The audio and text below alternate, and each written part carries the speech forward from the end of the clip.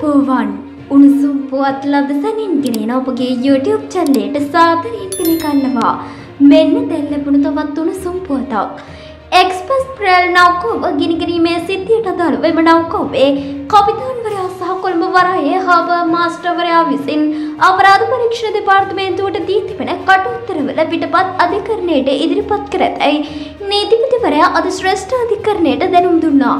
අදාළ නෞකාන්පුර හේතුවෙන් පීඩකට පත්තු වට වන්දයයිකර දින නියෝගයක් නිකුත් කන ලෙසිල්ලා අග්‍රතකුරු අතිමැල්තුම් මල්කල් කාපිනල් රංජිත් හිමිපාණන් දේවර ප්‍රචෝව ඇතුළු පිරිසක් විසින් ගොසු කළ මූලික අයිතිවාසිකම් පෙස්සම් කැදූ අවස්ථාවේදී නීතිපතිවරයා වෙනුවෙන් පෙනී සිටි අතිරේක සොලිස්ටර් ජෙරාල් තෙරින් පුල්ලේ විසින් මෙම දැනුම් දීම සිදු කළා.